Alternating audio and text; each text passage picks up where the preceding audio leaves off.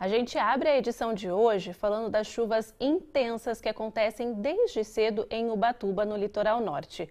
Por lá, diversos estragos, pontos de alagamentos e a ponte que dá acesso ao bairro Folha Seca foi interditada.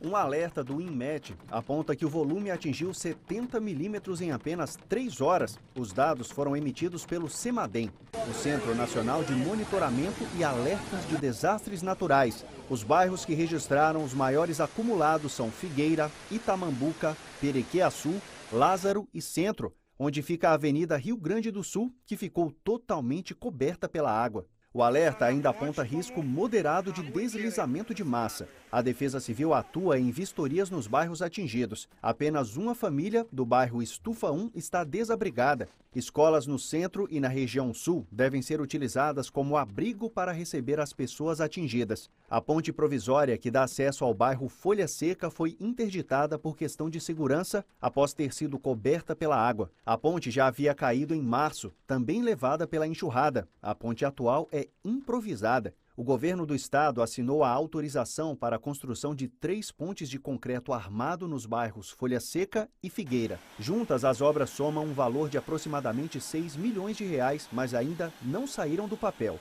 A Prefeitura de Ubatuba informou que foi necessário fazer alterações e adequações no projeto enviado pela Defesa Civil Estadual. Foi feita uma vistoria pelo engenheiro da Secretaria de Obras e agora o processo de licitação já foi iniciado e está em conformidade com os procedimentos legais para a devida contratação de empresa especializada. Segundo a Defesa Civil, também houve dois chamados para quedas de árvores em vias públicas, sem vítimas. Imagens que impressionam e a gente segue acompanhando isso aqui no Band Cidade, até porque a previsão ainda é de chuva por lá.